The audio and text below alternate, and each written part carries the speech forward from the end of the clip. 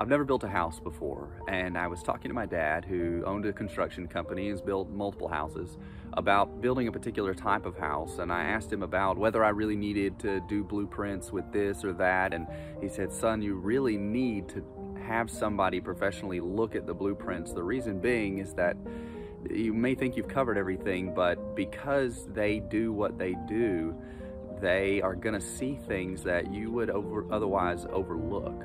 In the same way, God has always given his people a blueprint, so to speak, for life, for worship, for faith. And while that has changed in different dispensations, we always want to ask the question what does God want us to do in this one, in the New Testament era? And not just looking at the things God asks us to do and the what, but why. Because when God designs something, there will always be beauty in it. And because He knows more than us and because He loves us, we can always expect that it'll be the best most beneficial thing that we could do.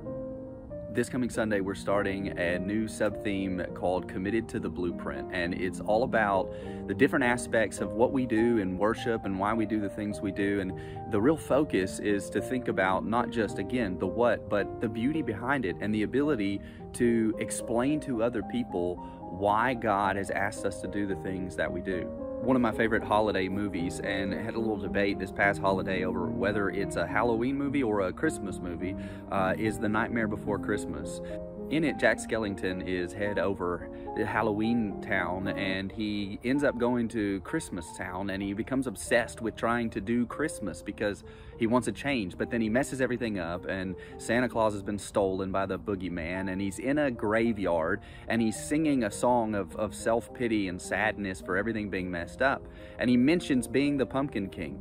And then he comes to himself and he says, wait, I am the Pumpkin King it's in that moment of remembering who he is and what he's supposed to be doing that gives him power and strength to go do what needs to be done. Uh, and in the same way, remembering who we are and why we do what we do can be an empowering process, not just an intellectual endeavor, but one that empowers us to remember that God has designed the church the way that He has. And what God institutes has God's power behind it. And so it can remind us of who we are and who is behind us. I hope you'll join us Sunday as we begin this series.